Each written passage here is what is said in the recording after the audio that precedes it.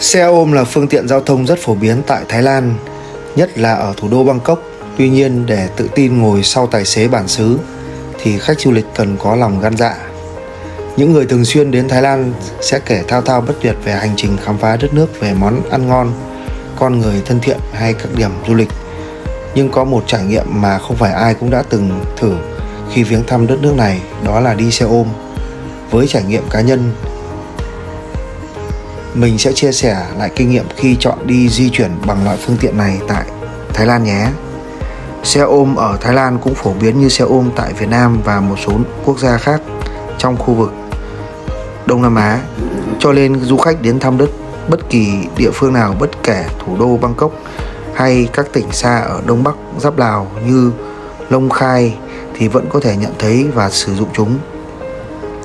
Nếu ở Bangkok, du khách và người dân địa phương có nhiều lựa chọn đi lại như xe buýt, tàu điện, nội đô, taxi vân vân thì ở các tỉnh xa thì xe ôm lại được ưu tiên sử dụng. Nói thế cũng đúng nhưng chưa đủ bởi rất nhiều cư dân ở thủ đô Bangkok cũng chọn xe ôm là phương tiện đi học, đi làm, đi chợ mỗi ngày. Từng lưu lại thủ đô của Thái Lan trong nhiều ngày tôi nhận ra rằng tài xế chạy xe ôm trở thành một phần không thể thiếu của người dân ở đây. Các tài xế xe ôm thường tập hợp theo từng nhóm, mỗi nhóm chọn vị trí kinh doanh khác nhau. Đó có thể là ở các ngã tư, ngã ba, các tòa nhà văn phòng hoặc điểm mua sắm đông người qua lại. Họ sẽ khoác trên mình chiếc áo lưới hoặc áo khoác có tay mang màu sắc đặc trưng của đội ngũ đó. Tại địa điểm làm việc, nhóm có một tấm bảng treo thẻ của các thành viên xe ôm. Người nào có khách rời đi thì lấy thẻ ra khỏi vị trí, giá mỗi chuyến đi được niêm yết rõ ràng. Các địa điểm trên bảng giá thường gần nơi tụ điểm của họ hoặc những địa điểm nổi tiếng trong thành phố. Các mức giá này được xem là cố định và trở thành mặc định. Ít ai trả giá hoặc người trả giá là người chưa đi các tài xế ở địa điểm này lần nào. Tôi cũng vậy, thường các điểm đã có giá ghi công khai thì tôi sẽ không trả giá, chỉ thỏa thuận các điểm đi ngoài bảng giá.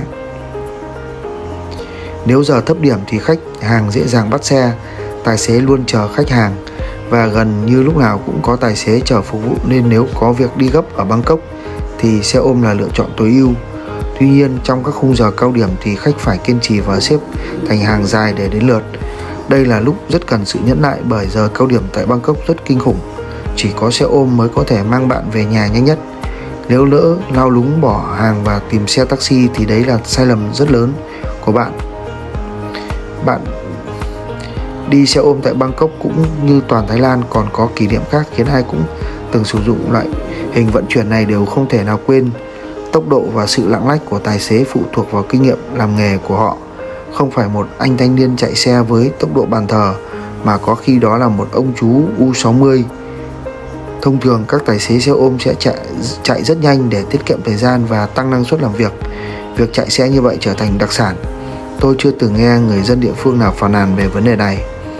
Ngoài ra hãy chọn đi xe ôm để khám phá các con đường mà Google Maps sẽ không bao giờ chỉ bạn khung cảnh thành phố, thói quen sinh hoạt địa phương.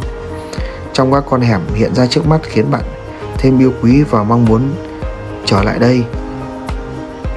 Thái Lan trở thành điểm du lịch quen thuộc của nhiều du khách du lịch Việt Nam. Quốc gia này thu hút du khách bằng các món ăn đường phố đa dạng và sự tiếp đón nồng hậu.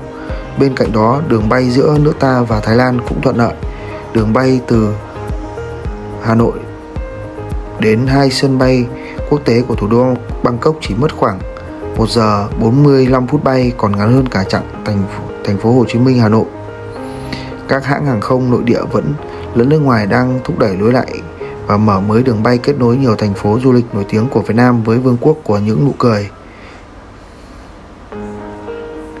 Vậy bạn hãy đến Bangkok và hãy một lần trải nghiệm đi xe ôm ở đây nhé.